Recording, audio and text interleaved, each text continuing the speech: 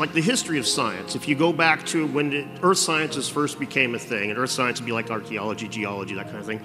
Uh, when it first became a thing, it was tasked with proving the Bible right. We was expected to find evidence of catastrophes, big floods, the Tower of Babel, all this kind of stuff. We look walls of Jericho. It's looking for all these major catastrophes, and then we get uh, Charles Darwin. So almost overnight, science went from being tasked with proving the Bible right to being tasked with proving the Bible wrong.